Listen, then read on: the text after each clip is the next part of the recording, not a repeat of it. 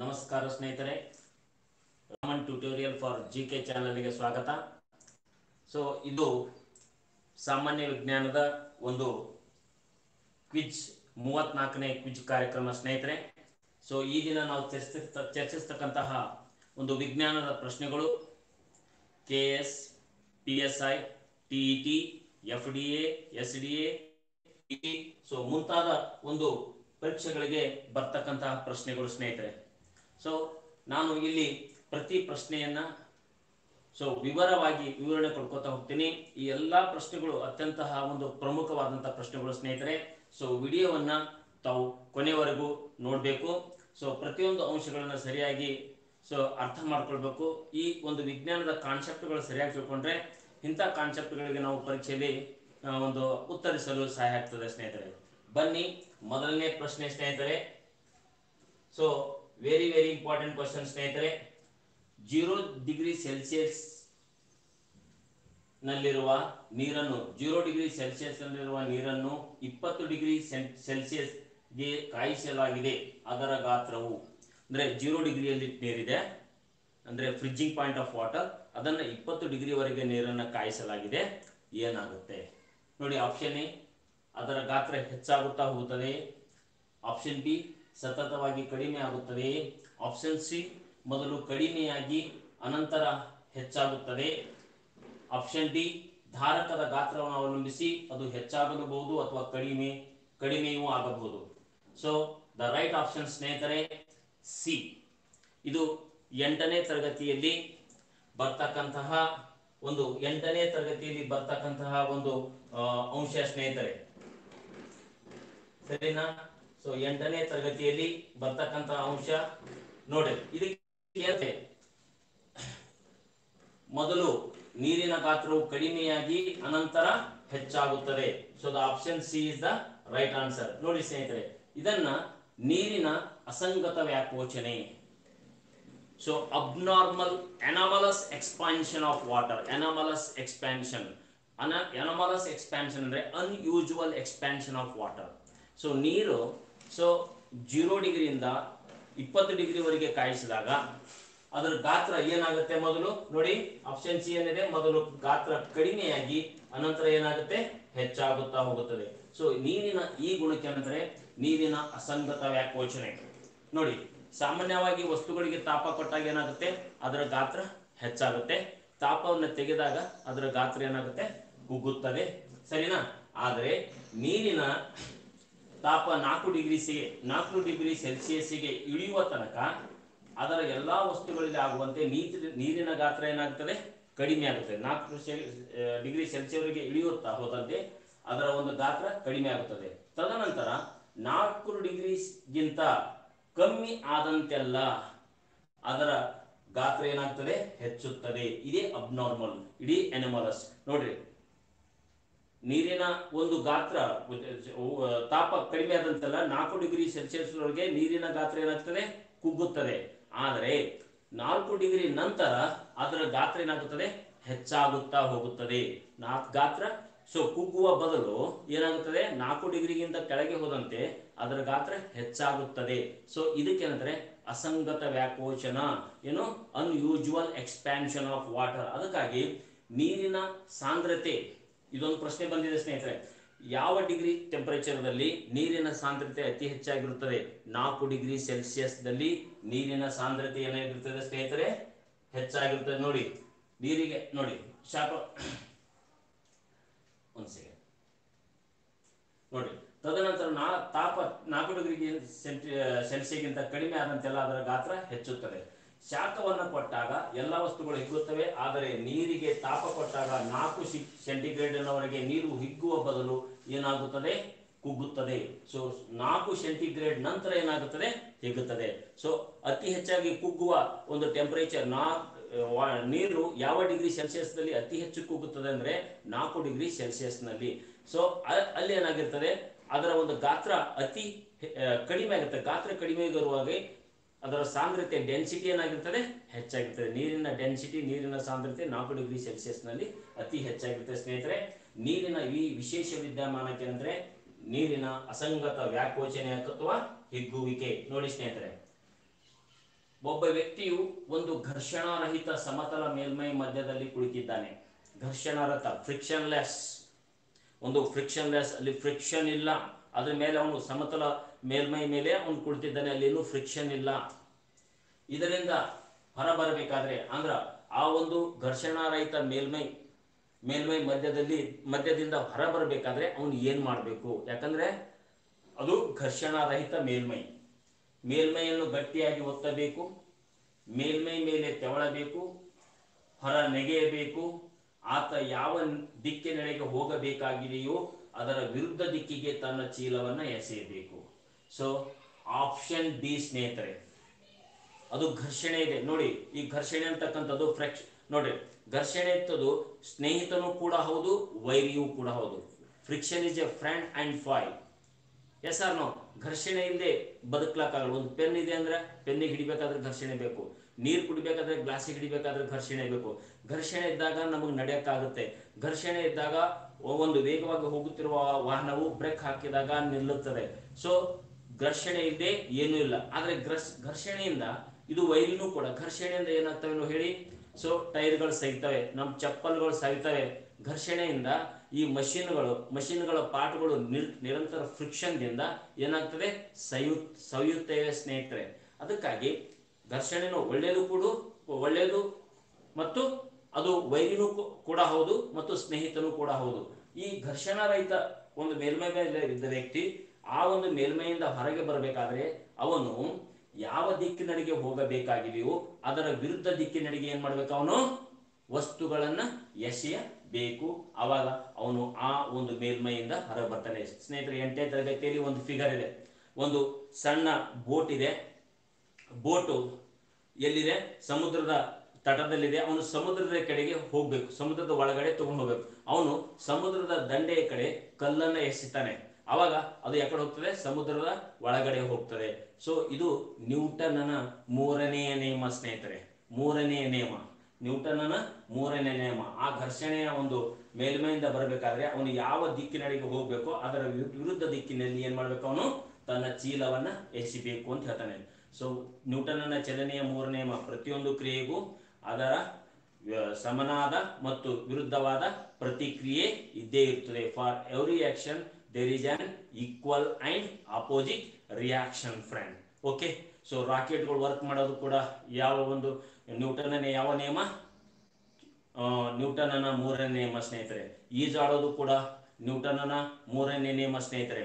ಬಂದೂಕಿನಿಂದ ಗೋಲಿ ಹಾರಿದಾಗ ಬಂದೂಕು ಗೋಲಿ ಮುಂದಕ್ಕೆ ಮತ್ತು ಬಂದೂಕು ಹಿಂದಕ್ಕೆ ತಳ್ಳುವುದು ಅನ್ನ ಮೂರನೇ ನಿಯಮ, ಸ್ನೇಹಿತರೆ. ನೆನ್ಪಿಟ್ಕೊಳ್ಬೇಕು, ಈ ಒಂದು ನ್ಯೂಟನ್ನನ ಮೊದಲನೇ ನಿಯಮ, ಎರಡನೇ ನಿಯಮ, ಮೂರನೇ ನಿಯಮದ ಮೇಲೆ ಪ್ರಶ್ನೆಗಳು ಬರ್ತವೆ ಸ್ನೇಹಿತರೆ. ಸೊ ಬನ್ನಿ, ಮುಂದಿನ ಪ್ರಶ್ನೆಗೆ ಹೋಗೋಣ. ನೋಡಿ ಸ್ನೇಹಿತರೆ, ಫ್ಯೂಸ್ ತಂತಿಯನ್ನು ಯಾವುದರಿಂದ ಮಾಡಿರ್ತಾರೆ? ತಾಮ್ರ, ಟಂಗಸ್ಟನ್, ಸೀಸ, ತವರ ಮಿಶ್ರಲೋಹ ಅಥವಾ ನೈಕ್ರೋಮ್? ನೋಡಿ ಸ್ನೇಹಿತರೆ, ಫ್ಯೂಸ್ ತಂತಿ.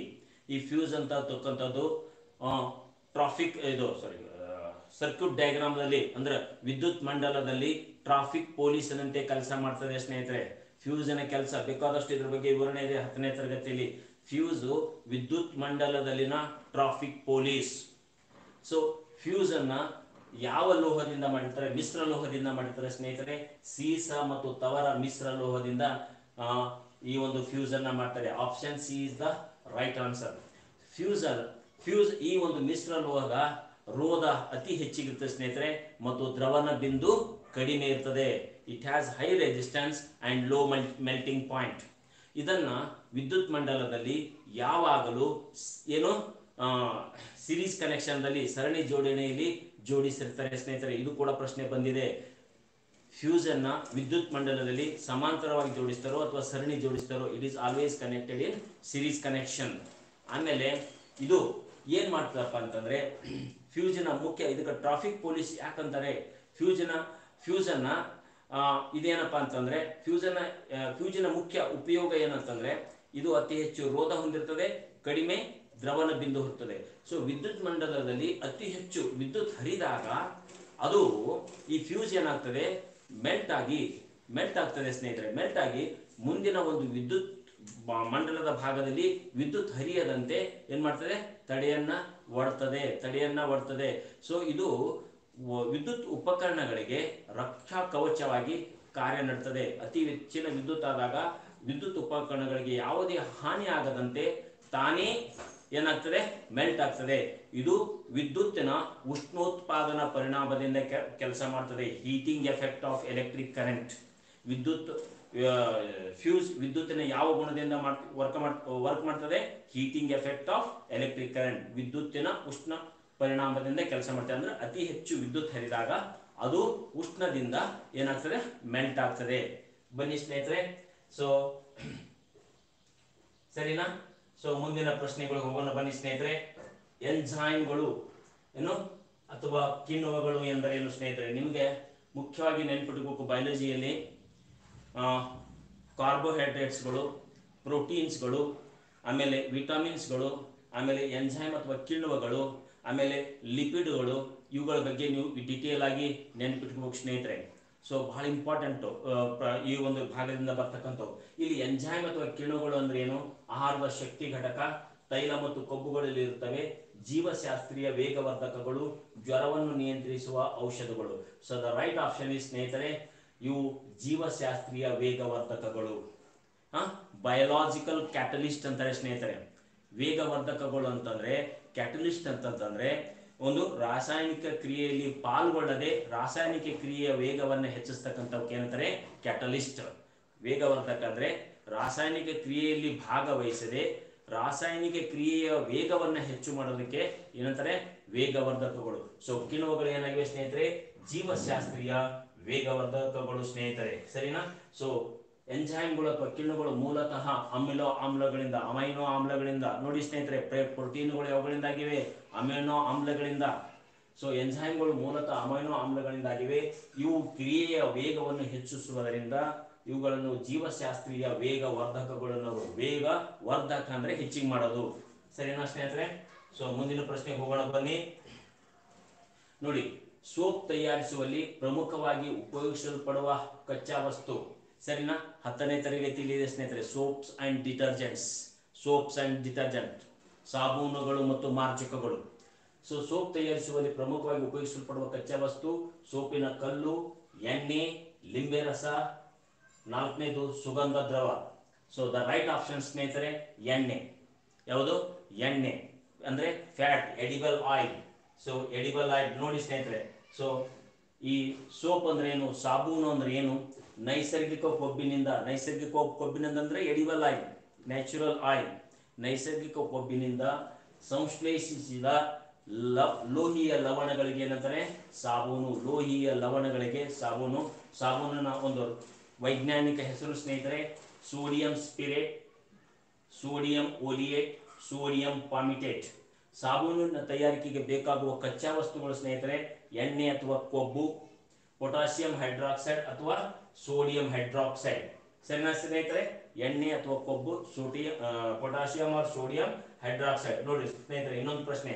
ಈ ಒಂದು ಸಾಬೂನಿನ ತಯಾರಿಕೆಯಲ್ಲಿ ಬರ್ತಕ್ಕಂಥ ಬೈ ಪ್ರಾಡಕ್ಟ್ ಯಾವುದಂದ್ರೆ ಸ್ನೇಹಿತರೆ, ಗ್ಲಿಸ್ರಿನ್.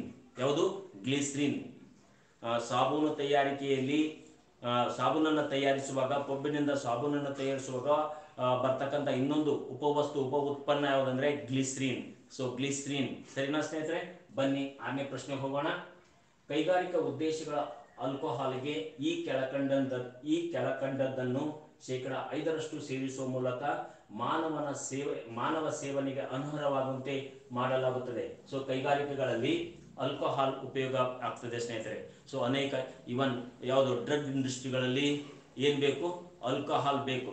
ಆದರೆ ಈ ಮಾನವನ ಒಂದು ಸೇವನೆಗೆ ಯೋಗ್ಯವಾಗಿರ್ತಕ್ಕಂಥ ಆಲ್ಕೋಹಾಲ್ಗೆ ಶೇಕಡ ಐದರಷ್ಟು ಸೈ- ಐದರಷ್ಟು ಮತ್ತೊಂದು ವಸ್ತುವನ್ನು ಸೇರಿಸುವುದರ ಮೂಲಕ ಮಾನವನ ಒಂದು ಸೇವನೆಗೆ ಅಹನರ, ಅನರ್ಹವಾಗುವಂತೆ ಮಾಡ್ತಾರೆ ಸ್ನೇಹಿತರೆ. ಯಾವುದನ್ನ ಶೇಕಡ ಐದರಷ್ಟು ಅಲ್ಕೋಹಾಲ್ಗೆ ಯಾವುದನ್ನ ಸೇರಿಸ್ತಾರೆ ಸ್ನೇಹಿತರೆ? ಹೈಡ್ರೋಲಿಕ್ ಆಮ್ಲ, sodium chloride, methyl alcohol, ethanol. ನೋಡಿ ಸ್ನೇಹಿತರೆ, the right option is methyl alcohol. C H three O H. Methyl alcohol ಅಂದ್ರೆ ಏನು ಸ್ನೇಹಿತರೆ? C H three O H. So ಮಾನವನ ಸೇವನೆಗೆ ಯೋಗ್ಯವಾದಂತಹ ಆಲ್ಕೋಹಾಲ್ ಯಾವುದು ಸ್ನೇಹಿತರೆ? C two H five O H ethyl ethyl alcohol or ethanol C two H five O H ಇದು ಮಾನವನ ಒಂದು ಸೇವನೆಗೆ ಯೋಗ್ಯವಾದಂಥ ಆಲ್ಕೋಹಾಲ್ ಸೊ ಆಲ್ಕೋಹಾಲ್ ಯಾವ ರೀತಿ ತಯಾರಿಸ್ತಾರೆ ಅಂದ್ರೆ ಸ್ನೇಹಿತರೆ ಇಥಾಲ್ ಆಲ್ಕೋಹಾಲ್ ಅನ್ನ ಇಥನಾಲ್ ಅಂತ ಹೇಳ್ತಾರೆ. ಇದನ್ನು ಸಕ್ಕರೆಯ ಕಾರ್ಖಾನೆಯಲ್ಲಿ ಸ್ಫಟಿಕೀಕರಣಗೊಳ್ಳದೆ, ಅಂದ್ರೆ ಕ್ರಿಸ್ಟಲೈಸೇಷನ್ ಆಗದೆ ಉಳಿದಂತಹ ಒಂದು ಕಪ್ಪು ಬಣ್ಣದ ಡಾರ್ಕ್ ಆದಂತಹ ಒಂದು ಏನಪ್ಪಾ ಅಂದ್ರೆ ಸೆಮಿ ಲಿಕ್ವಿಡ್ ಕಾಕಂಬಿಯಿಂದ ತಯಾರಿಸುತ್ತಾರೆ ಅಂದ್ರೆ ಸಕ್ಕರೆ ಕಾರ್ಖಾನೆಯಲ್ಲಿ ಸ್ಫಟಿಕೀಕರಣಗೊಳ್ಳದೆ ಉಳಿಯುವ ಕಾಕಂಬಿಯಿಂದ ತಯಾರಿಸ್ತಾರೆ ಸ್ನೇಹಿತರೆ. ಯಾವುದನ್ನ? ಇಥೈಲ್ ಆಲ್ಕೋಹಾಲ್ ಅನ್ನ ಮಾನವನ ಸೇವನೆಗೆ ಯೋಗ್ಯವಾದಂತಹ ಆಲ್ಕೋಹಾಲ್ ಅನ್ನ ಇದನ್ನು ತಂಪು ಪಾನೀಯಗಳು, ಮದ್ಯ, ಕೆಲವೊಂದು ಔಷಧಿಗಳು ಕೂಡ ಇದನ್ನ ಬಳಸ್ತಾರೆ. ಯಾವುದನ್ನ? ಇಥಾಯಿಲ್ ಆಲ್ಕೋಹಾಲ್ ಅನ್ನ ಆದರೆ ಮಿಥಾಯಿಲ್ ಆಲ್ಕೋಹಾಲ್ ಕೈಗಾರಿಕೆಗಳಲ್ಲಿ ಬಳಸುತ್ತಾರೆ ಸ್ನೇಹಿತರೆ. ಇದರ ಅಲ್ಪ ಸೇವನೆಯೂ ಸಹ ವಿಷಕಾರಿ. ನೋಡಿ, ಈ ಇಥೈಲ್ ಆಲ್ಕೋಹಾಲ್ಗೆ ಸ್ವಲ್ಪ ಪ್ರಮಾಣದ ಮಿಥೈಲ್ ಆಲ್ಕೋಹಾಲ್ ಸೇರಿಸ್, ಸೇರಿಸಿದಾಗ ಏನಾಗುತ್ತೆ ಸ್ನೇಹಿತರೆ, ಅದು ಸೇವನೆಗೆ ಏನಾಗುತ್ತೆ? ಅದು ಯೋಗ್ಯವಾಗಿರಲ್ಲ, ಅತ್ಯಂತ ವಿಷಕಾರಿಯಾಗಿರುತ್ತೆ ಸ್ನೇಹಿತರೆ. ಸರಿನಾ? ಸೊ ಸೇವನೆಗೆ ಒಂದು ಅನರ್ಹವಾದಂಥದ್ದು ಏನನ್ನ? ಮಿಥೈಲ್ ಆಲ್ಕೋಹಾಲ್ ಅನ್ನ ಇಥೈಲ್ ಆಲ್ಕೋಹಾಲ್ಗೆ ಸೇರಿಸ್ತಾರೆ. ಬನ್ನಿ ಸ್ನೇಹಿತರೆ. ಏಳನೇ ಪ್ರಶ್ನೆ. ಆಹಾರದ ಪಿಷ್ಟ ಪದಾರ್ಥಗಳಲ್ಲಿ ಪದಾರ್ಥದಲ್ಲಿರುವ ಪ್ರಧಾನವಾದ ಶಕ್ತಿ ಘಟಕ ಯಾವುದು? ಪಿಷ್ಟ ಸ್ನೇಹಿತರೆ, ನೋಡಿ, ಪ್ರೋಟೀನ್. ಸೊ, ಆಹಾರದಲ್ಲಿರುವ ಪ್ರಧಾನವಾದ ಶಕ್ತಿ ಘಟಕ ಯಾವುದು ಅಂತಂದ್ರೆ ಪ್ರೋಟೀನ್, ಜೀವಸತ್ವ ಗ್ಲಿಸ್ರೈಡ್ಗಳು ಕಾರ್ಬೋಹೈಡ್ರೇಟ್ಗಳು. ದ ರೈಟ್ ಆನ್ಸರ್ ಸ್ನೇಹಿತರೆ, ಕಾರ್ಬೋಹೈಡ್ರೇಟ್ಗಳು, ಶಕ್ತಿಯ ಪ್ರಧಾನ ಘಟಕಗಳು. ನಮ್ಮ ದೇಹಕ್ಕೆ ಶಕ್ತಿಯನ್ನು ಒದಗಿಸ್ತಕ್ಕಂತಹ ಪ್ರಧಾನ ಘಟಕಗಳು ಯಾವುವು ಅಂದ್ರೆ ಸ್ನೇಹಿತರೆ, ಕಾರ್ಬೋಹೈಡ್ರೇಟ್ಗಳು. ಪ್ರೋಟೀನ್ಗಳು ಬೇಕು. ಪ್ರೋಟೀನ್ಗಳು ಅಂದ್ರೆ ರ್ಯಾಂಕರ್ಸ್ ಅಂತಾರೆ ಸ್ನೇಹಿತರೆ. ಪ್ರೋಟೀನ್ಗಳು ನಮ್ಮ ದೇಹವನ್ನು ಸದೃಢವಾಗಿಡಲು ಬೇಕು. ಸರಿನಾ? ನಮ್ಮ ಒಂದು ನಿಶಕ್ತಿ ಬರದೇ ಇರೋದು ನಮ್ಮ ದೇಹದ ಒಳ್ಳೆ ಬೆಳವಣಿಗೆಗೆ ಒಂದು ಬ್ಯಾಲೆನ್ಸ್ಡ್ ಒಂದು ಗ್ರೋತ್ಗೆ ಪ್ರೋಟೀನ್ಗಳು ಬೇಕು. ಆಮೇಲೆ ವಿಟಮಿನ್ಸ್ಗಳು ಬೇಕು ಗ್ಲಿಸೈಡ್ ಬೇಕು. ಆದರೆ ಅತಿ ಹೆಚ್ಚಿನ ಪ್ರಮಾಣದ ಒಂದು ಶಕ್ತಿಯ ಆಕಾರ ಯಾವುದು ಅಂತಂದ್ರೆ ಸ್ನೇಹಿತರೆ, ಕಾರ್ಬೋಹೈಡ್ರೇಟ್ಸ್ಗಳು. ಬನ್ನಿ ನೋಡಿ ಕಾರ್ಬೋಹೈಡ್ರೇಟ್ಗಳು ನಮ್ಮ ಆಹಾರದ ಪ್ರಮುಖ ಘಟಕಗಳು ಹಾಗೂ ನಮ್ಮ ದೇಹದ ಪ್ರಮುಖ ಶಕ್ತಿ ಉತ್ಪಾದಕಗಳು. ಸೊ ನಮ್ಮ ಶಕ್ತಿ ಅಗತ್ಯತೆಯ ಶೇಕಡ ಎಪ್ಪತ್ತರಷ್ಟು ಶಕ್ತಿಯನ್ನ ಯಾವುದರಿಂದ ಪಡೆದೇವೆ ಸ್ನೇಹಿತರೆ? ಕಾರ್ಬೋಹೈಡ್ರೇಟ್ಗಳು ಪೂರೈಸುತ್ತವೆ. ಈ ಕಾರ್ಬೋಹೈಡ್ರೇಟ್ಗಳ ಮೂಲಗಳು ಯಾವುದು? ಏಕದಳ ಸಸ್ಯಗಳು, ಆಲೂಗಡ್ಡೆ, ಗೆಣಸು ಅಥವಾ ಮೈದಾ ಇತ್ಯಾದಿ ಸ್ನೇಹಿತರೆ. ಸೊ ನಮ್ಮ ಆಹಾರದ ಪ್ರಮುಖ ಘಟಕಗಳು ಯಾವುದು? ಕಾರ್ಬೋಹೈಡ್ರೇಟ್ಗಳು ಸ್ನೇಹಿತರೆ. ಬನ್ನಿ, ಮುಂದಿನ ಪ್ರಶ್ನೆಗೆ ಹೋಗೋಣ. ನೋಡಿ, ಚಾರಿತ್ರಿಕವಾಗಿ ಅತ್ಯಂತ ಪರಿಶುದ್ಧ ಕಬ್ಬಿಣ ಅತ್ಯಂತ ಪರಿಶುದ್ಧ ಗುಣ ಹೊಂದಿರುವ ವಾಣಿಜ್ಯ ಕಬ್ಬಿಣದ ರೂಪ ಯಾವುದು ಸ್ನೇಹಿತರೆ? ಸೊ ಇಲ್ಲಿ ಮೆಟಲ್ಸ್ಗಳನ್ನ ಮೆಟಲರ್ಜಿ ಅಂತಾರೆ ಸ್ನೇಹಿತರೆ. Metallurgy, extraction of metal from its ores. ಹೌದಾ? ಇಲ್ಲಿ ನಾವು ಲೋಹಗಳನ್ನ ಅವುಗಳ ಅದುರುಗಳಿಂದ ಬೇರ್ಪಡಿಸ್ತೀವಿ. ಬೇರ್ಪಡಿಸುವಾಗ ನಮಗೆ ಎಷ್ಟು ಶುದ್ಧ ರೂಪದ ಲೋಹ ಬೇಕೋ ಅಷ್ಟು ಶುದ್ಧ ರೂಪದ ಲೋಹವನ್ನು ಮಾಡ್ತೀವಿ. ಸೊ ಅವುಗಳ ಉಪಯೋಗದ ಆಧಾರದ ಮೇಲೆ, ಅವುಗಳ ಉಪಯೋಗದ ಆಧಾರದ ಮೇಲೆ ಎಷ್ಟು ಶುದ್ಧ ಒಂದು ಲೋಹ ಬೇಕೋ ಅದರ ಅದರಿಂದ ಅಷ್ಟು ಶುದ್ಧ ಲೋಹವನ್ನು ನಾವು ಏನ್ ಮಾಡ್ತೀವಿ? ಬೇರೆ ಬೇರೆ ವಿಧಾನದಿಂದ ನಾವು ಅದನ್ನ ಬೇರ್ಪಡಿಸ್ತೀವಿ. ಆದರೆ ಅತ್ಯಂತ ಪರಿಶುದ್ಧ ಗುಣ ಹೊಂದಿರುವ ವಾಣಿಜ್ಯ ಕಬ್ಬಿಣದ ರೂಪ ಯಾವುದು ಅಂತ ಕೇಳ್ತಾ ಇದ್ದಾರೆ ಸ್ನೇಹಿತರೆ? ಬನ್ನಿ. ಯಾವುದು? ನಾಡು ಕಬ್ಬಿಣ, ಎರಕ ಹೊಯ್ದ ಕಬ್ಬಿಣ, ಸಿ, ಉಕ್ಕು, ನಾಲ್ಕನೇ ದೊಡ್ಡಿ, ಬೀಡು ಕಬ್ಬಿಣ. ಸೊ ದ ರೈಟ್ ಆಪ್ಷನ್ ಈ ಸ್ನೇಹಿತರೆ, ನಾಡು ಕಬ್ಬಿಣ. ನೋಡಿ ಸ್ನೇಹಿತರೆ, ಈ ಉಕ್ಕು ಇದು ಒಂದು ಮಿಶ್ರ ಲೋಹ ನೋಡಿ ಸ್ನೇಹಿತರೆ, ಉಕ್ಕಿನಿಂದ ಮಾಡಿದಂತಹ ಒಂದು ಲೋಹಿಯ ವಸ್ತುಗಳು ಮೇಲಿನಿಂದ ಬೀಳ್ದಾಗ ಏನಾಗುತ್ತೆ? ಒಡೆಯುತ್ತವೆ ಸ್ನೇಹಿತರೆ. ಮುರಿತವೆ, ಒಡಿತ ಒಡಿತವೆ ಕಟ್ ಅಂತೇಳಿ ಒಡಿತವೆ.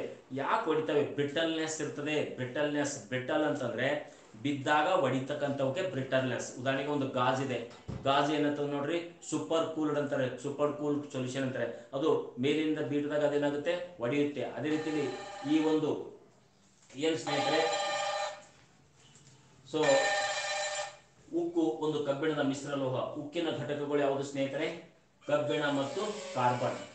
ಕಬ್ಬಿಣ ಮತ್ತು ಕಾರ್ಬನ್. ಇದು ಒಂದು ಮಿಶ್ರ ಲೋಹ, ಇದು ಶುದ್ಧ ಲೋಹ ಅಲ್ಲ. ಅದು ಕಾರ್ಬನ್ ಇರೋ ಸಲುವಾಗಿ ಮೇಲಿನಿಂದ ಬಿದ್ದಾಗ ಉಕ್ಕು ಒಡೀತದೆ ಸ್ನೇಹಿತರೆ. ಎರಡನೇದು ಬೀಡು ಕಬ್ಬಿಣ. ನೋಡಿ, ಬೆಸಮರೈಸೇಷನ್. ಕಬ್ಬಿಣವನ್ನ ಅದರ ಅದರಿಂದ ಬಿಡಿಸ್ತಕ್ಕಂಥ ವಿಧಾನವನ್ನು ಮೊಟ್ಟ ಮೊದಲು ಕಂಡಿದ್ರು ಬೆಸಮರ್, ಬೆಸಮರೈಸೇಷನ್. ಬನ್ನಿ ಸ್ನೇಹಿತರೆ.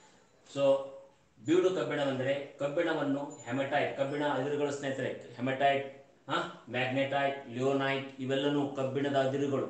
ಸೊ ಬೀಡು ಕಬ್ಬಿಣ ಅಂದರೆ ಕಬ್ಬಿಣವನ್ನ ಹೆಮಟೈಟ್ ಅಥವಾ ಮ್ಯಾಗ್ನೆಟೈಟ್ ಕಬ್ಬಿಣದ ಅದರಿಂದ ಉದ್ಧರಿಸಿದಾಗ ಊದು ಕಲಿಮೆಯಲ್ಲಿ ದೊರೆಯುವ ಕಬ್ಬಿಣ ಯಾವುದು? ಬೀಡು ಕಬ್ಬಿಣ.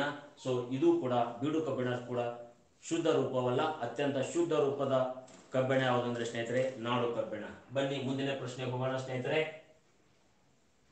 ನೋಡಿ, ಮುಂದಿನ ಪ್ರಶ್ನೆ ಮುಂದಿನ ಪ್ರಶ್ನೆ, ಎಚ್ ಐ ವಿಯು ಈ ಕೆಳಕಂಡ ಮೂಲಕ ದೇಹದ ಸ್ವಾಭಾವಿಕ ರೋಗ ನಿರೋಧಕ ಶಕ್ತಿಯನ್ನು ಕಡಿಮೆ ಮಾಡುತ್ತದೆ ನೋಡಿ ಸ್ನೇಹಿತರೆ, ಎಚ್ ಐ ವಿ. ಹೌದಾ? ನೋಡ್ರಿ, ಈ ಎಚ್ ಐ ವಿ ರೋಗ ಮುಖ್ಯವಾಗಿ ನಮ್ಮ ದೇಹದ ರಕ್ಷ ನೋಡಿ ನಮ್ಮ ದೇಹದ ರಕ್ಷಣಾ ಒಂದು ಸೈನಿಕರು ಯಾರಂತಂದ್ರೆ ದೇಹದ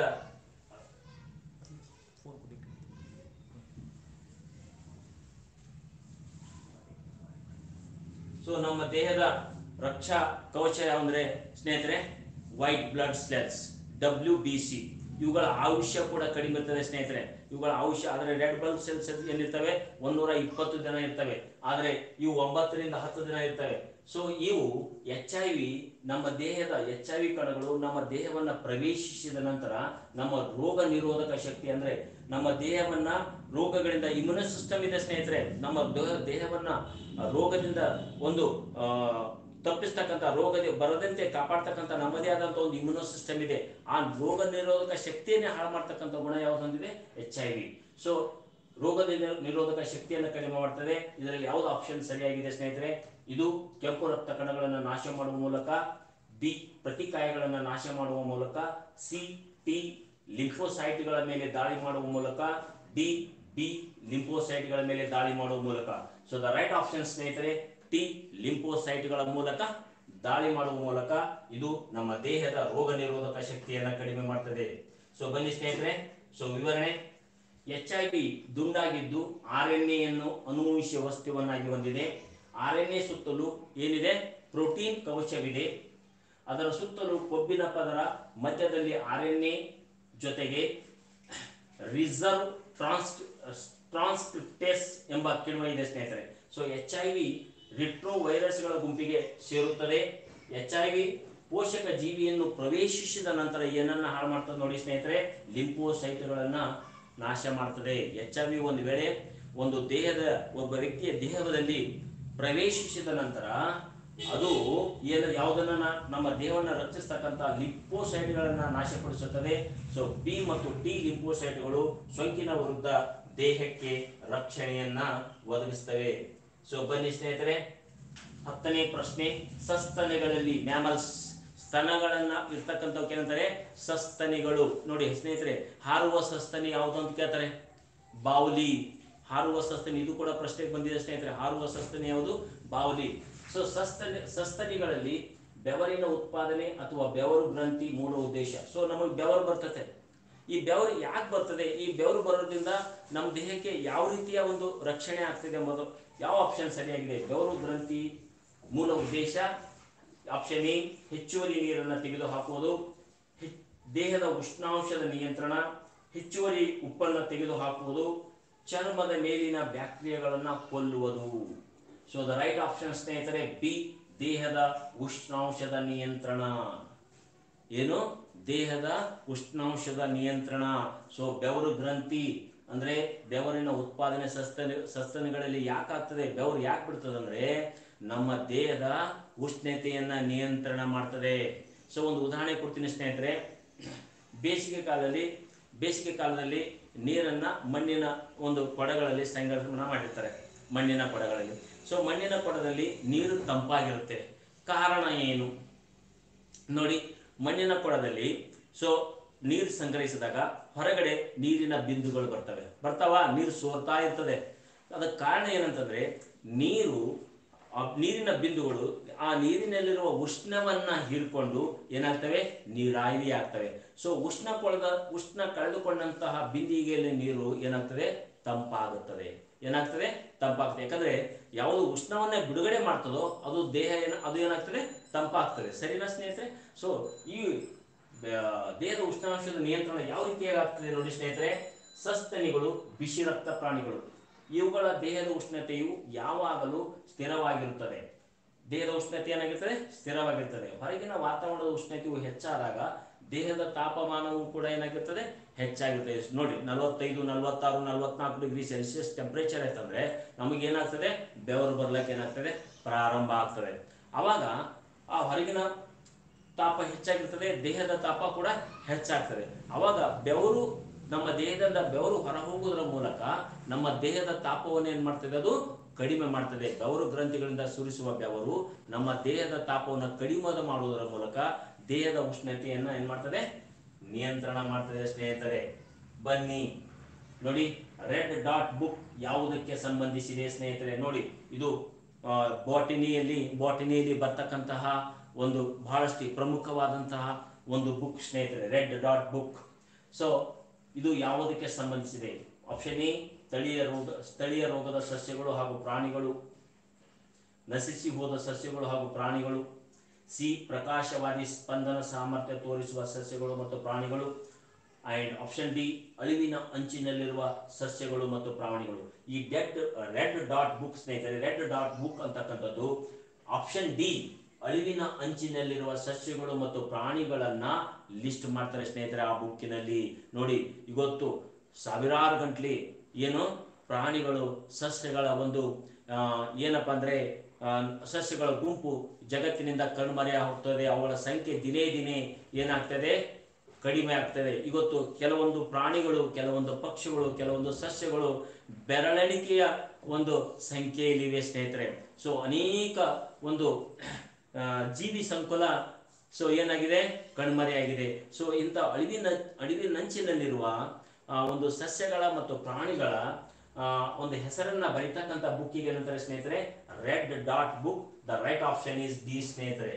ರೈಟ್ ಆಪ್ಷನ್ ಇಸ್ ಡಿ ನೋಡಿ ರೆಡ್ ಡಾಟ್ ಬುಕ್ ಪುಸ್ತಕವನ್ನ ಮೊದಲು ಪ್ರಾರಂಭಿಸಿದ್ದು ರಷ್ಯನ್ ಫೆಡರೇಷನ್ ಅಳಿವಿನ ಅಂಚಿನಲ್ಲಿರುವ ಸಸ್ಯ ಮತ್ತು ಪ್ರಾಣಿಗಳ ಸಿಲಿ ಪ್ರಾಣಿ ಶಿಲೀಂಧ್ರಗಳ ಲೆಕ್ಕಕ್ಕಾಗಿ ಹತ್ತೊಂಬತ್ತು ನೂರ ಅರವತ್ತೊಂದರಲ್ಲಿ ಇದನ್ನು ಪ್ರಾರಂಭಿಸಲಾಯಿತು.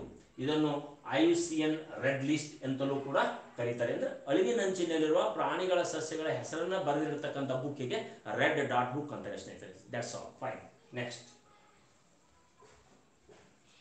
ನೋಡಿ ಸ್ನೇಹಿತರೆ, ಹನ್ನೆರಡನೇ ಪ್ರಶ್ನೆ ನ್ಯೂಕ್ಲಿಯರ್ ಶಕ್ತಿ ಸೊ ನ್ಯೂಕ್ಲಿಯರ್ ಎನರ್ಜಿ ನ್ಯೂಕ್ಲಿಯರ್ ಶಕ್ತಿಯನ್ನು ಬಳಸಿಕೊಳ್ಳುವುದರಿಂದ ಎಷ್ಟೋ ವೇಳೆ ಆಪ್ಷನ್ ಎ ವಾಯು ಮಾಲಿನ್ಯ ಉಂಟಾಗ್ತದೆ. ಆಪ್ಷನ್ ಬಿ ಜಲ ಮಾಲಿನ್ಯ ಉಂಟಾಗ್ತದೆ. Option C radioactive radiation ಮಾಲಿನ್ಯ ಉಂಟಾಗ್ತದೆ. And option D U V U V ಅಂದ್ರೆ ಅಲ್ಟ್ರಾ ವೈಲೆಟ್ ರೇಡಿಯೇಷನ್ ಮಾಲಿನ್ಯ ಉಂಟಾಗ್ತದೆ. ಸೊ ದ ರೈಟ್ ಆಪ್ಷನ್ ಸ್ನೇಹಿತರೆ ರೇಡಿಯೋ ಆಕ್ಟಿವ್ ರೇಡಿಯೇಷನ್ ಮಾಲಿನ್ಯ ಉಂಟಾಗ್ತದೆ. ನೋಡ್ರಿ ನ್ಯೂಕ್ಲಿಯರ್ ಶಕ್ತಿಯನ್ನ ಬಳಸಿಕೊಳ್ಳೋದ್ರಿಂದ, ನೋಡ್ರಿ ಸ್ನೇಹಿತರೆ, ಈ ನ್ಯೂಕ್ಲಿಯರ್ ಶಕ್ತಿ, ಆ, ಈ ರೇಡಿಯೋ ಆಕ್ಟಿವಿಟಿಯನ್ನ ಮೊಟ್ಟ ಮೊದಲು ಇದನ್ನ ನೋಡಿದವರು ಅಥವಾ ಕಂಡಿಡಿದವರು ಡಿಸ್ಕವರ್ ಮಾಡಿದವರು ಯಾರಪ್ಪ ಅಂದ್ರೆ ಹೆನ್ರಿ ಬೆಕ್ವೆರಲ್ ಸ್ನೇಹಿತರೆ.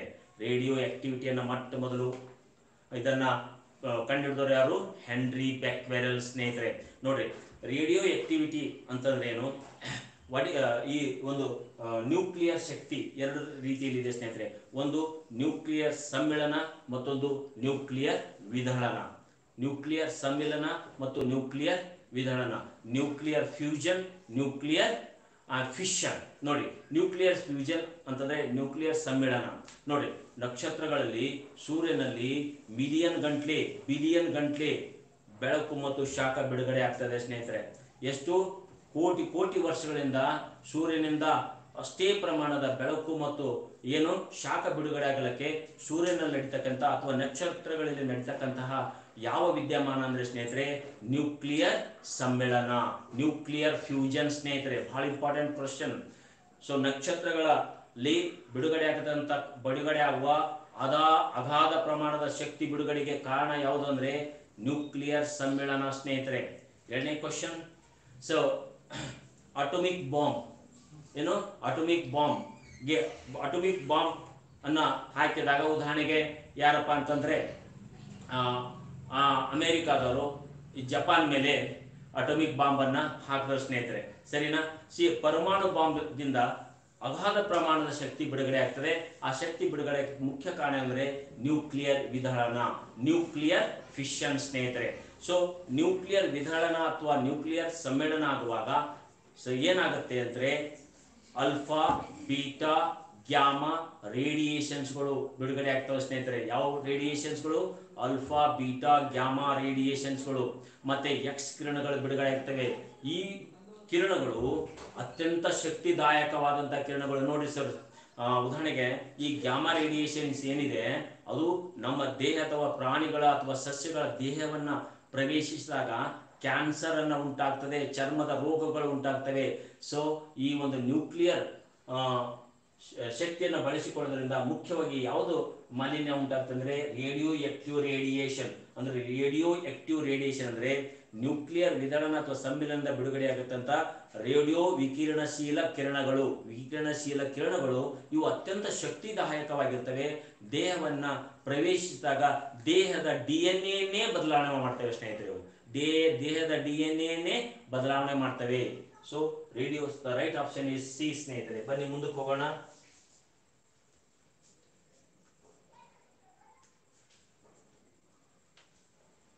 ಓಕೆ ಸೊ ಹದಿಮೂರನೇ ಪ್ರಶ್ನೆ ಸ್ನೇಹಿತರೆ, ಜಪಾನಿನಲ್ಲಿ ಇಟಾಯಿ ಇಟಾಯಿ ರೋಗವು ಕೆಳಕಂಡ ಅಂಶದಿಂದ ಕಲುಷಿತಗೊಂಡ ಅಕ್ಕಿಯನ್ನು ಸೇವಿಸಿದ್ರಿಂದ ಉಂಟಾಯಿತು.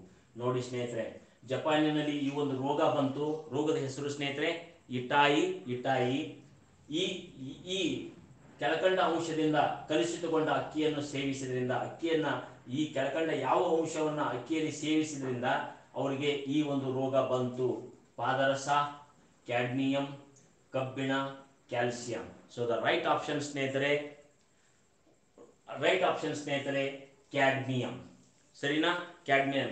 ಸೊ ಬನ್ನಿ ಸ್ನೇಹಿತರೆ, ಕ್ಯಾಡ್ಮಿಯಂ. ನೋಡಿ, ಇವತ್ತು ಕೆಲವೊಂದು ಈ ಕೈಗಾರಿಕೆಗಳು ಏನಾಗಿವೆ ಅಂದ್ರೆ ಸ್ನೇಹಿತರೆ, ಕೈಗಾರಿಕೆಗಳಿಂದ ಬಿಡುಗಡೆ ಆಗ್ತಕ್ಕಂತಹ ಒಂದು ಮಾಲಿನ್ಯಕಾರಕ ವಾಯು ಅಥವಾ ತ್ಯಾಜ್ಯಗಳು, ಇವು ಆ ಪ್ರದೇಶದ ಜನರ ಜೀವನವನ್ನೇ ಹಾಳು ಮಾಡಿವೆ ಸ್ನೇಹಿತರೆ. ಬಹಳಷ್ಟು ಇವತ್ತು ಬಳ್ಳಾರಿ ಇರ್ಬೋದು, ಇವತ್ತು ನದಿ ತೀರದ ಪ್ರದೇಶಗಳಲ್ಲಿರ್ತಕ್ಕಂಥ ನಗರಗಳು, ಅಲ್ಲೆಲ್ಲ ಏನು ಈ ವಾಣಿಜ್ಯದಿಂದ ಕೈಗಾರಿಕೆಗಳಿಂದ ಬಿಡುಗಡೆ ಇರತಕ್ಕಂಥ ತ್ಯಾಜ್ಯಗಳನ್ನು ಮೂಲಕ ಈ ಹರಿಯುವ ನೀರಿಗೆ ಸೇರಿಸುವುದರ ಮೂಲಕ ಅದು ಏನ್ ಮಾಡ್ತಾ ಇದೆ? ರೋಗದ ಕೂಪವಾಗಿ ಮಾರ್ಪಾಡಾಗಿವೆ ಸ್ನೇಹಿತರೆ. ಅದೇ ರೀತಿಲಿ ಈ ಹತ್ತೊಂಬತ್ತು ನೂರ ಹನ್ನೆರಡರಲ್ಲಿ ಜಪಾನಿನ ಟೊಯಾಮಾ ನಗರದ ಪರ್ವತಗಳಲ್ಲಿದ್ದ ಗಣಿಗಳ ಒಂದು ಗಣಿ ಕಂಪನಿಗಳು ಹೊರಬಿಡುತ್ತಿದ್ದ ತ್ಯಾಜ್ಯ ನೀರಿನಲ್ಲಿ ಏನಿತ್ತು? ಕ್ಯಾಡ್ಮಿಯಂ ಅಂಶ ಇತ್ತು ಗಣಿಕೆಗಾಗಿರಲಿ ಹೊರಬಿಡುತ್ತಂತ ತ್ಯಾಜ್ಯ ನೀರಿನಲ್ಲಿ ಕ್ಯಾಡ್ಮಿಯಂ ಅಂತಕ್ಕಂಥ ಅಂಶ ಇತ್ತು ಇದು ನದಿ ಮೂಲಗಳನ್ನು ಸೇರಿ ಆಹಾರ ಮತ್ತು ನೇರವಾಗಿ ಮಾನವನ ದೇಹಕ್ಕೆ ಸೇರಿದಾಗ ಈ ರೋಗ ಬಂತು. ಸ್ನೇಹಿತರೆ, ಯಾವುದು? ಇಟಾಯಿ ಇಟಾಯಿ ರೋಗ. ಸೊ ಇಟಾಯಿ ಇಟಾಯಿ ರೋಗದ ಪ್ರಮುಖ ಲಕ್ಷಣಗಳೇನು? ಮೂಳೆಗಳು ಮೆದುವಾಗುವಿಕೆ ನೋಡಿ ಸ್ನೇಹಿತರೆ, ಮೂಳೆಗಳು ಮೆದುವಾಗಿ ಕೆಲವರಿಗೆ, ನೋಡಿ ಇದು ಬೆರಿ ಬೆರಿ. ಸೊ ಮೂಳೆಗಳು ಮೆದುವಾಗುವಿಕೆ ಇಂದ ಏನಾಗ್ತದೆ ಸ್ನೇಹಿತರೆ? ಇಷ್ಟು ಮೆತ್ತಗಾಗ್ತದೆ ಸ್ವಲ್ಪ ಫೋರ್ಸ್ ಹಾಕಿದಾಗ ಕಟ್ಟದ ಮೂಳೆಗಳು ಮುರಿತವೆ. ಕ್ಯಾಲ್ಸಿಯಂ ಅಂಶದ ಪ್ರಮಾಣ ಕಡಿಮೆ ಇರ್ತದೆ. ಸೊ ಅದಕ್ಕಾಗಿ ಈ ರೋಗ ಬಂದಾಗ ಮೂಳೆಗಳು ಮದುವೆ, ಕಿಡ್ನಿ ವೈಫಲ್ಯ ಉಂಟಾಗ್ತದೆ ಸ್ನೇಹಿತರೆ. ಸೊ ಸೊ ಸ್ನೇಹಿತರೆ ಸೊ ಈ ವಿಡಿಯೋವನ್ನ ಲೈಕ್ ಮಾಡಿ ಸ್ನೇಹಿತರೆ. ಸೊ ವಿಡಿಯೋವನ್ನ ಕೊನೆವರೆಗೂ ಮಾಡಿ. ಸೊ ನಾವು ಎಷ್ಟು ಈ ಒಂದು ಪ್ರಶ್ನೆಗೆ ಬೇಕು, ಅದಕ್ಕಿಂತಲೂ ಹೆಚ್ಚಿನ ಪ್ರಮಾಣದ ಒಂದು ವಿವಿಧ ಅಂಶಗಳನ್ನು ಸೇರಿಸ್ತಾ ಪ್ರತಿ ಪ್ರಶ್ನೆಯನ್ನು ನಾನು ವಿವರಣೆ ಮಾಡ್ತಾ ಇದ್ದೇನೆ ಸ್ನೇಹಿತರೆ. ಸೊ ಪ್ರತಿಯೊಬ್ಬರು ಇದನ್ನ ಲೈಕ್ ಮಾಡಿ ಮತ್ತು ಕೊನೆಯವರೆಗೂ ಇದನ್ನ ನೀವು ನೋಡಿ ಸ್ನೇಹಿತರೆ. ಸೊ ನಿಮ್ಮ ಸ್ನೇಹಿತರಿಗೂ ಕೂಡ ಸೊ ಈ ವಿಡಿಯೋ ಬಗ್ಗೆ ಮಾಹಿತಿಯನ್ನು ಕೊಡಿ ಸ್ನೇಹಿತರೆ. ಬನ್ನಿ, ಹದಿನಾಲ್ಕನೇ ಪ್ರಶ್ನೆ ಸ್ನೇಹಿತರೆ. ಯಾವ ಹಂತದಲ್ಲಿ ನೈಟ್ರೇಟ್ಗಳು ಹಾಗೂ ಫಾಸ್ಫೇಟ್ಗಳನ್ನು ನಿವಾರಿಸಲಾಗುತ್ತದೆ? ನೋಡಿ ಸ್ನೇಹಿತರೆ, ನೈಟ್ರೇಟ್ಗಳು ಮತ್ತು ಫಾಸ್ಫೇಟ್ಗಳನ್ನ ಯಾವ ಹಂತದಲ್ಲಿ ತೆಗೆದುಹಾಕಲಾಗುತ್ತದೆ? ಪ್ರಾಥಮಿಕ ಸಂಸ್ಕರಣೆ, ದ್ವಿತೀಯ ಸಂಸ್ಕರಣೆ, ತೃತೀಯ ಸಂಸ್ಕರಣೆ ಮತ್ತು ಪೂರ್ವಭಾವಿ ಸಂಸ್ಕರಣೆ. ಸಂಸ್ಕರಣೆ ಅಂದ್ರೆ ರಿಮೂವಲ್ ರಿಮೂವಲ್ ಎಕ್ಸ್ಟ್ರಾಕ್ಷನ್ ಇವೊಂದು ತ್ಯಾಜ್ಯಗಳವ. ಯಾವ ಹಂತದಲ್ಲಿ ಇವುಗಳನ್ನ ನಿರ್ ನಿರ್ವಹಣೆ ಮಾಡ್ತಾರೆ ಅಂದ್ರೆ ನಿವಾ ನಿವಾರಣೆ ಮಾಡ್ತಾರೆ ನಿವಾರಣೆ ಮಾಡ್ತಾರೆ, ತ್ಯಾಜ್ಯಗಳನ್ನು ನಿವಾರಣೆ ಮಾಡ್ತಾರೆ ಅಂತಕ್ಕಂಥದ್ದು. ಸೊ ದ ರೈಟ್ ಆಪ್ಷನ್ ಸ್ನೇಹಿತರೆ, ಸಿ, ತೃತೀಯ ಸಂಸ್ಕರಣೆ. ಬನ್ನಿ ಸ್ನೇಹಿತರೆ ಇದರ ಬೇಕಾದಷ್ಟು ವಿವರಣೆ ಇದೆ. ನೋಡಿ ಒಳಚರಂಡಿ ಒಳಚರಂಡಿ ನೀರಿನಲ್ಲಿ ಅನೇಕ ಕಲ್ಮಶಗಳು ಇರ್ತವೆ ಸ್ನೇಹಿತರೆ. ಇವುಗಳನ್ನು ನೀರಿನ ಮೂಲಗಳಿಗೆ ಹಾಗೆ ಬಿಡುವುದರಿಂದ ಹೆಚ್ಚಿನ ಮಾಲಿನ್ಯ ಉಂಟಾಗ್ತದೆ ಸ್ನೇಹಿತರೆ.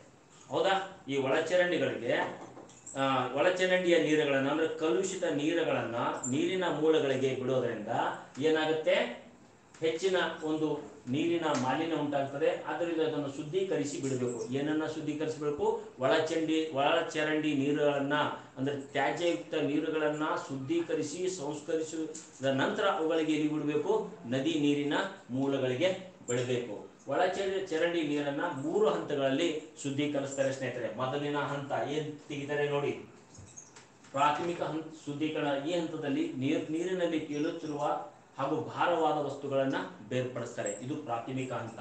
ಎರಡನೇದು ದ್ವಿತೀಯ ಹಂತದ ಶುದ್ಧೀಕರಣ. ಈ ಹಂತದಲ್ಲಿ ನೀರಿಗೆ ಹೆಚ್ಚಿನ ಗಾಳಿಯನ್ನು ಹಾಯಿಸಲಾಗುತ್ತದೆ. ಇದು ಬ್ಯಾಕ್ಟೀರಿಯಾಗಳ ವಿಘಟನಾ ಕ್ರಿಯೆಯನ್ನ ಏನ್ ಮಾಡ್ತದೆ? ಹೆಚ್ಚಿಸುತ್ತದೆ. ಅದರ ಕೊನೆಯ ಹಂತ ಸ್ನೇಹಿತರೆ ತೃತೀಯ ಹಂತದ ಶುದ್ಧೀಕರಣ. ಈ ಹಂತದಲ್ಲಿ ನೀರಿನಲ್ಲಿ ವಿಲೀನವಾಗಿರುವ ರಾಸಾಯನಿಕಗಳು ಅಂದ್ರೆ ನೈಟ್ರೇಟ್ಗಳು ಮತ್ತು ಫಾಸ್ಫೇಟ್ಗಳನ್ನು ಬೇರ್ಪಡಿಸುವುದು ಮತ್ತು ಸೂಕ್ಷ್ಮ ಕ್ರಿಮಿಗಳನ್ನು ಕೊಲ್ಲಲಾಗ್ತದೆ. ನೋಡಿ ಸ್ನೇಹಿತರೆ, ಮೂರನೇ ಹಂತದಲ್ಲಿ ನೈಟ್ರೇಟ್ಗಳನ್ನು ಮತ್ತು ಫಾಸ್ಫೇಟ್ಗಳನ್ನು ಯಾವ ಹಂತದಲ್ಲಿ ಶುದ್ಧೀಕರಣ ಮಾಡ್ತಾರೆ ಅಂದ್ರೆ ಸ್ನೇಹಿತರೆ, ತೃತೀಯ ಹಂತದ ಶುದ್ಧೀಕರಣ. ತೃತೀಯ ಹಂತದ ಶುದ್ಧೀಕರಣದಲ್ಲಿ ನೀರಿನಲ್ಲಿ ವಿಲೀನವಾಗಿರುವ ರಾಸಾಯನಿಕಗಳನ್ನು ಬೇರ್ಪಡಿಸುವುದು ಹಾಗೂ ಸೂಕ್ಷ್ಮ ಜೀವಿಗಳನ್ನ ಕೊಲ್ಲಲಾಗುತ್ತದೆ. ಬನ್ನಿ ಸ್ನೇಹಿತರೆ, ಕೊನೆಯ ಪ್ರಶ್ನೆಗೆ ಹೋಗೋಣ. ಯಾವ್ದಕ್ಕೆ ಹೋಗೋಣ? ಕೊನೆಯ ಪ್ರಶ್ನೆಗೆ, ವಿಜ್ಞಾನಿಗಳು ಒಂದು ಹೊಸ ತಂತ್ರ ವಿಧಾನವನ್ನ ರೂಪಿಸಿದ್ದು, ಇದರ ಪ್ರಕಾರ ಇದರ ಪ್ರಕಾರ ರಕ್ತದ ಕ್ಯಾನ್ಸರ್ ಇರುವ ರೋಗಿಗಳಿಗೆ, ಅಂದ್ರೆ ರಕ್ತದ ಕ್ಯಾನ್ಸರ್, ಬ್ಲಡ್ ಕ್ಯಾನ್ಸರ್ ಇರುವ ಒಂದು ರೋಗಿಗಳಿಗೆ, ಬ್ಲಡ್ ಕ್ಯಾನ್ಸರ್ ಇರುವ ರೋಗಿಗಳಿಗೆ ಅವರದೇ ಟಿ ಕೋಶಗಳಿಂದ ಚಿಕಿತ್ಸೆ ನೀಡಬಹುದಾಗಿದೆ. ಟಿ ಕೋಶಗಳು ಒಂದು ವಿವಿ, ಒಂದು ವಿಧದ ಟಿ ಕೋಶಗಳು, ವಿವಿಧ ಅಂತಾಗಿದೆ. ಟಿ ಕೋಶಗಳು ಒಂದು ವಿಧದ ಆಪ್ಷನ್ ಎ, ಬಿಳಿ ರಕ್ತ ಕಣಗಳು ಆಪ್ಷನ್ ಬಿ, ಕೆಂಪು ರಕ್ತ ಕಣಗಳು ಆಪ್ಷನ್ ಸಿ, ಯಕೃತ ಕೋಶಗಳು ಆಪ್ಷನ್ ಡಿ ಕ್ಯಾನ್ಸರ್ ಉಳ್ಳವ, ಉಳ್ಳ ಕೋಶ. ಸೊ ದ ರೈಟ್ ಆಪ್ಷನ್ ಸ್ನೇಹಿತರೆ, ಎ, ಏನು? ಬಿಳಿ ರಕ್ತ ಕಣಗಳು ಸ್ನೇಹಿತರೆ. ಏನು? ಬಿಳಿ ರಕ್ತ ಕಣಗಳು. ನೋಡಿ, ಬಿಳಿ ರಕ್ತ ಕಣಗಳ ಬಗ್ಗೆ ಈ ಹಿಂದಿನ ಪ್ರಶ್ನೆಯಲ್ಲಿ ನಾನು ವಿವರಣೆ ಮಾಡಿದ್ದೇನೆ. ಇವು ನಮ್ಮ ದೇಹದ ಒಂದು ಏನಂತಾರೆ ಮಿಲ್ಟ್ರಿ ಅಂತ ಕೆಲಸ ಮಾಡ್ತೇವೆ ನಮ್ಮ ದೇಹವನ್ನ ಹೊರಗಿನಿಂದ ಬರ್ತಕ್ಕಂತಹ ದೇಹಕ್ಕೆ ಒಂದು ಹಾರ್ಮನ್ನ ಮಾಡ್ತಕ್ಕಂತಹ ಒಂದು ಜೀವಿಗಳಿಂದ ನಮ್ಮ ದೇಹವನ್ನ ರಕ್ಷಿಸ್ತವೆ ಸೊ ಬಿಳಿ ರಕ್ತ ಕಣಗಳು ನೋಡಿ ರಕ್ತದ ಘಟಕಗಳು, ಅಂದ್ರೆ ರಕ್ತ ಏನನ್ನ ಒಳಗೊಂಡಿರ್ತದೆ? ನೋಡಿ ಸ್ನೇಹಿತರೆ, ಪ್ಲಾಸ್ಮಾ, ಕೆಂಪು ರಕ್ತ ಕಣ ಬಿಳಿ ರಕ್ತ ಕಣ ಹಾಗೂ ಕಿರುತಟ್ಟೆಗಳು. ನೋಡಿ ಸ್ನೇಹಿತರೆ, ಎರಡ್ ಸಾವಿರದ ಹದಿನೈದು, ಎರಡ್ ಸಾವಿರದ ಐದು, ಆರರಲ್ಲಿ ಹೈಸ್ಕೂಲ್ ಟೀಚರ್ ನೇಮಕಾತಿಯಲ್ಲಿ ಈ ಪ್ರಶ್ನೆ ಬಂದಿತ್ತು ಸ್ನೇಹಿತರೆ, ಕಿರು ತಟ್ಟೆಗಳು, ಬಹಳಷ್ಟು ಜನರಿಗೆ ಕಿರು ತಟ್ಟೆಗಳು ಅಂದ್ರೆ ಏನು ಅಂತ ಗೊತ್ತೆ? ಕಿರು ತಟ್ಟೆಗಳು ಅಂದ್ರೆ ಪ್ಲೇಟ್ಲೆಟ್ಸ್ ಸ್ನೇಹಿತರೆ ಪ್ಲೇಟ್ಲೆಟ್ಸ್ ಸೊ ರಕ್ತ ಹೆಂಪುಗಟ್ ಹೆಪ್ಪುಗಟ್ಟುವಿಕೆಗೆ ಸಹಾಯ ಮಾಡ್ತದೆ. ಕಿರು ತಟ್ಟೆಗಳು ಅಂದ್ರೆ ಪ್ಲೇಟ್ಲೆಟ್ಸ್ ಸೊ ರಕ್ತದ ಘಟಕಗಳು, ಭಾಗಗಳು ಯಾವಂದ್ರೆ ಸ್ನೇಹಿತರೆ? ಪ್ಲಾಸ್ಮಾ, ಕೆಂಪು ರಕ್ತ ಕಣ ಬಿಳಿ ರಕ್ತ ಕಣ ಮತ್ತು ಕಿರು ತಟ್ಟೆಗಳು. ನೋಡಿ ಸ್ನೇಹಿತರೆ, ಬಿಳಿ ರಕ್ತ ಕಣಗಳು ಡಬ್ಲ್ಯೂ ಡಬ್ಲ್ಯೂ ಬಿ ಸಿ ಗಾತ್ರದಲ್ಲಿ ದೊಡ್ಡದಾಗಿದ್ದು ಕೋಶ ಕೇಂದ್ರ ಸಹಿತವಾದ ಜೀವಕೋಶಗಳು.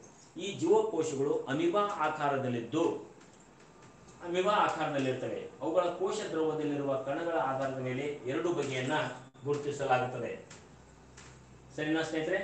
ಸೊ ಕಣ ಸಹಿತ ಬಿಳಿ ರಕ್ತಕೋಶ neutrophil eosinophil basophils so ಕಣರಹಿತ ಬಿಳಿ ರಕ್ತ ಮೊನೊಸೈಟ್ ಮತ್ತು ಲಿಂಪೋಸೈಟ್ಗಳು ಸೊ ಇಲ್ಲಿಗೆ ಈ ವಿಡಿಯೋ ಮುಕ್ತಾಯ ಸ್ನೇಹಿತರೆ. ಸೊ ಇದೇ ರೀತಿಯಾಗಿ ತಾವು ಈ ವಿಡಿಯೋಗಳನ್ನು ನೋಡುತ್ತಾ ಇದನ್ನು ಲೈಕ್ ಮಾಡ್ಕೊತಾ ಸೊ ನಿಮ್ಮ ಎಲ್ಲ ಫ್ರೆಂಡ್ಸ್ಗಳಿಗೆ ಶೇರ್ ಮಾಡುತ್ತಾ ಸೊ ನಮಗೆ ಒಂದು ಸರ್ಪ್ರೈಸ್ ಮಾಡುತ್ತಾ ಸೊ ನಮ್ಮ ವೀಕ್ಷಣೆಯನ್ನು ಮಾಡ್ತಕ್ಕಂಥ ಎಲ್ಲ ಒಂದು ಸ್ನೇಹಿತರಿಗೆ ನಮಸ್ಕಾರಗಳು ಸ್ನೇಹಿತರೆ. ಥ್ಯಾಂಕ್ಸ್ ನೆಕ್ಸ್ಟ್ ಕ್ಲಾಸ್ ಮಾಡ್ತೀಯಾ ಹೇಳ್ತೀಯಾ?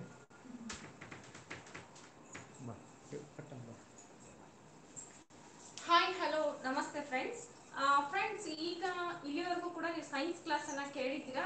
ಇನ್ನ ಒಂದು ಹತ್ತು ನಿಮಿಷ ಅಷ್ಟು ನಿಮಗೆ ರಿಲೀಫ್ ಸಿಗುತ್ತೆ. ನಾನು ಸೋಷಿಯಲ್ ಸೈನ್ಸ್ ಕ್ಲಾಸ್ ಅನ್ನ ಇವತ್ತು ನಿಮಗೆ ಹೇಳ್ತಾ ಇದ್ದೀನಿ. ಇನ್ನೊಂದು ಹತ್ತರಿಂದ ಹದಿನೈದು ನಿಮಿಷ. ಓಕೆ ಸೊ ಎಲ್ಲರೂ ಕೂಡ ವಿಡಿಯೋ ಓಪನ್ ನಾನು ಲಿಂಕ್ ಎಲ್ಲ ಕಳಿಸ್ತೀನಿ ಟೆಲಿಗ್ರಾಮ್ ಗ್ರೂಪಲ್ಲಿ ಸೊ ಟೆಲಿಗ್ರಾಮ್ ಗ್ರೂಪಲ್ಲಿ ಜಾಯಿನ್ ಆಗಿ ಆ ಲಿಂಕ್ ಮೂಲಕ ನೀವು ನಮ್ಮ ತರಗತಿಗಳನ್ನ ವೀಕ್ಷಣೆ ಮಾಡ್ಬೋದು. ಎಸ್ ಹಾಗಾದ್ರೆ ಈಗ ಏಳು ಹದಿನೈದು ಅಥವಾ ಏಳು ಇಪ್ಪತ್ತಕ್ಕೆ ನಾನು ಕ್ಲಾಸ್ ಆರಂಭ ಮಾಡ್ತೀನಿ. Okay thank you